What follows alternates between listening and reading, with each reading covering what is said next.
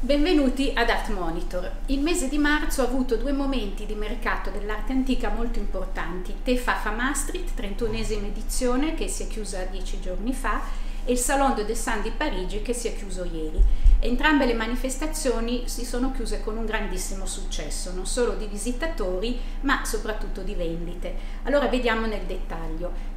Tefaf, eh, che alla 31esima edizione, oramai ha creato un indotto di circa 20 milioni di euro all'anno per la cittadina.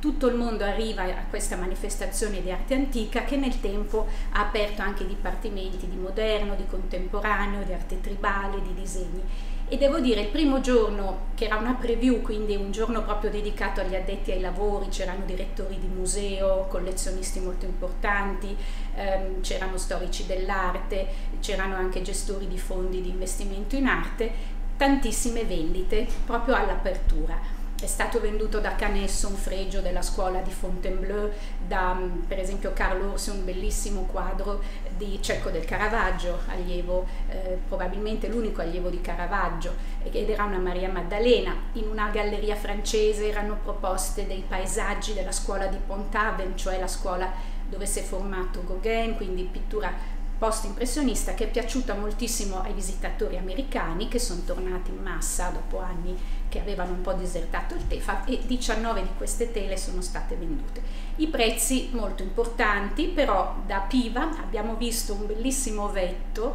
in lamina di tartaruga, quindi un oggetto di virtù a 2500 euro.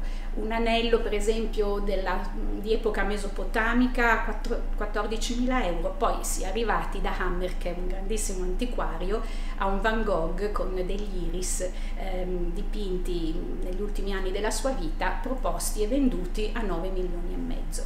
Quindi diciamo che a Tefaf il mercato dell'antico è tornato a respirare e questo è un segnale che già avevamo avvertito all'inizio dell'anno che si riconferma.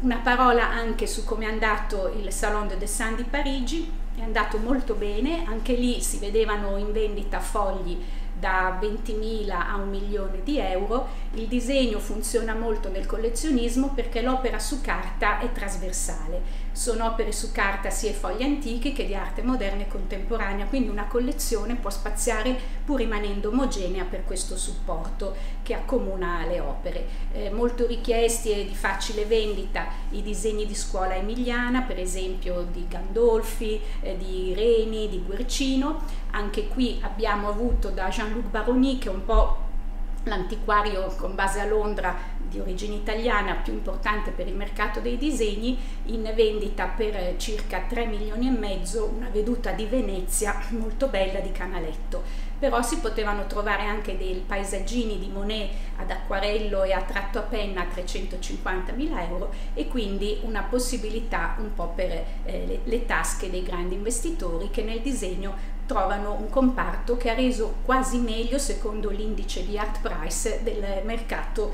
eh, dell'arte mm, e in particolare del mercato della pittura. Da vent'anni a oggi il, il comparto del disegno è cresciuto del 100%. Da Art Monitor un caro saluto Marina Moiana.